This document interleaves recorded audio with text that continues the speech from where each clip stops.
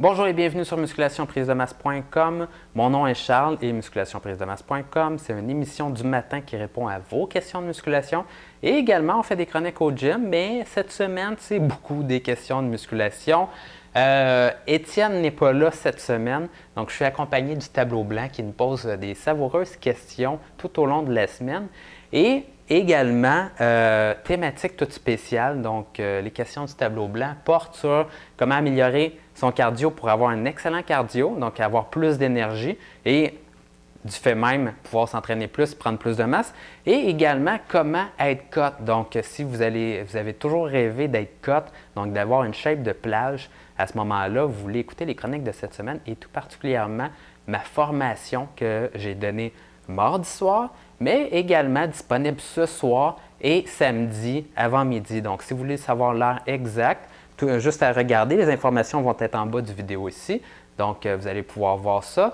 Euh, la formation va être sur une page spéciale où vous devez être là à l'heure précise pour pouvoir voir ma formation. Donc, euh, la formation, le titre, c'est cinq choses que vous faites présentement, cinq raisons pour lesquelles vous n'êtes pas cote et vous n'avez pas un bon cardio. Donc, je vais passer à travers toutes les choses par rapport au cardio et par rapport à être cote et vous devriez en sortir avec de la méchante bonne information pour réussir à atteindre vos objectifs.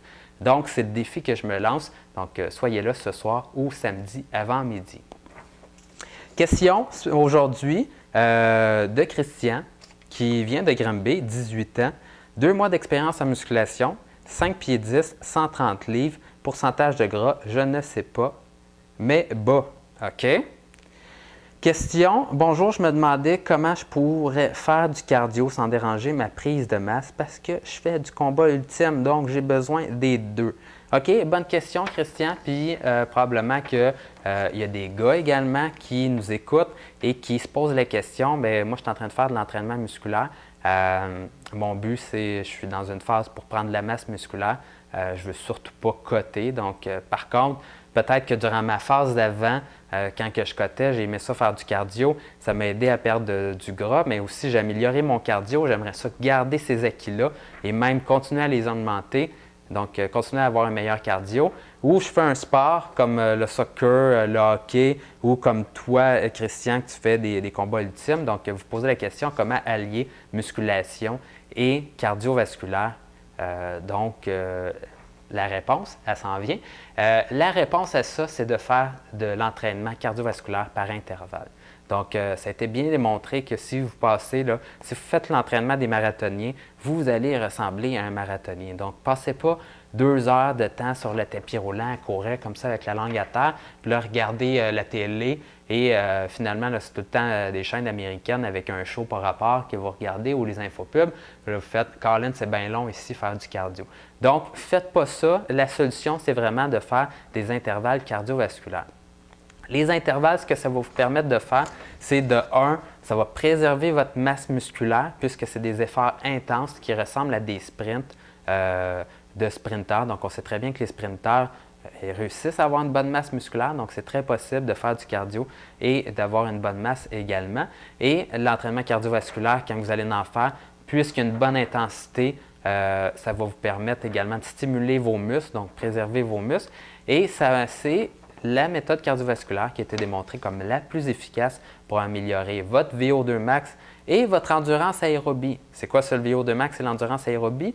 Euh, le VO2 max, ça, c'est l'équivalent de euh, la puissance de votre moteur. Donc, c'est l'équivalent du nombre de chevaux vapeur dans votre automobile, donc dans votre corps.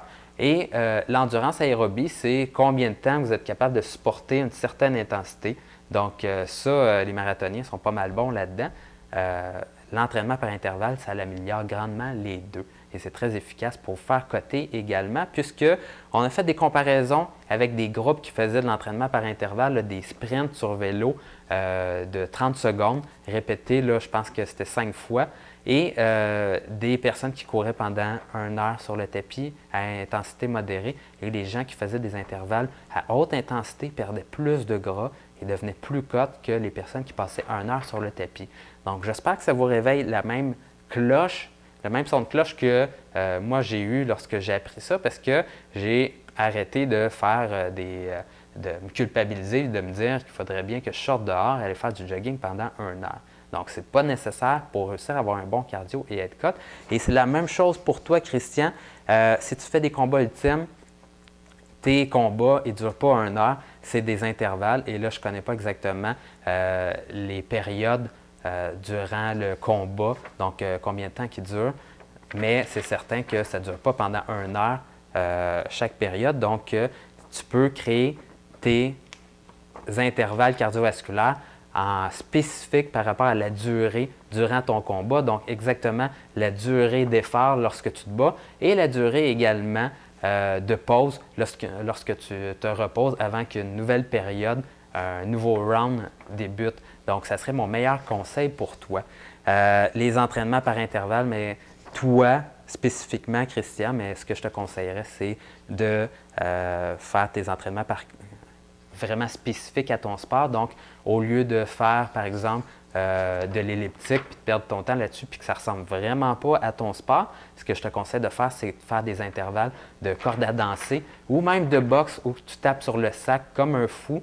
Fais ça pendant des, tes rounds euh, que tu es supposé de, de, combattre habituellement dans un combat habituellement et suis exactement là, ça avec des intervalles de pause également pour que tu vas te reposer complètement et tu recommences comme ça pour vraiment euh, faire comme si ton combat était vraiment cardio. Donc, euh, tu vas avoir un super cardio par rapport à ça.